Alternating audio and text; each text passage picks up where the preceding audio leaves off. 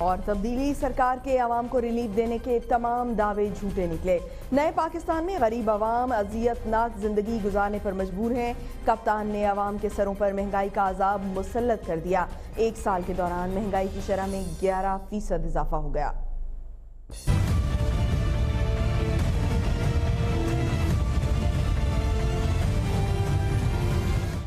تبدیلی سرکار کے تمام نعرے سیاسی نکلے۔ عوام کو ریلیف دینے کے دعوے داروں نے عوام سے دو وقت کی روٹی بھی چھین لی۔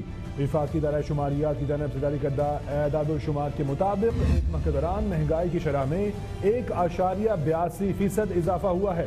اور گزشتہ سال اکتوبر کے نسبت مہنگائی کی شرح گیارہ فیصد سے زائد رہی ہے۔ جبکہ جولائی سے اکتوبر تک مہنگائی کی شرح میں گزشتہ سال کے نسبت صفر اشاریہ تین دو فیصد اضافہ ہوا، جو کہ ریکارڈ کیا گیا ہے۔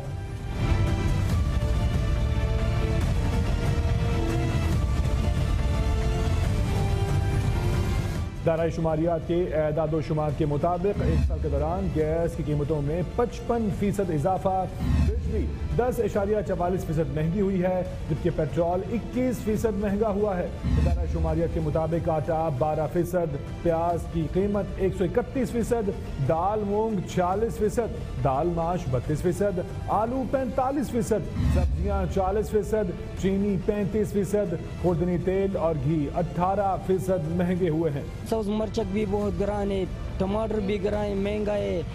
ہماری وس کی بات نہیں ہے یہ ہم غریب لوگ ہیں ہم کیا کریں؟ ٹماٹر آسمان سے اس کے ریٹ بات کر رہے ہیں۔ تو ٹماٹر اس ٹائم غریب کے بس میں تھا۔ آج کل غریب کے بس کی بات نہیں ہے۔ ادارہ شماریت کی رپورٹ کے مطابق چائے آٹھ اشاریہ پندرہ فیصد دودھ مصنوعات چار اشاریہ سات چار فیصد چینی چونتیس فیصد اور گھی کی قیمتوں میں تہتر فیصد اضافہ ہوا ہے۔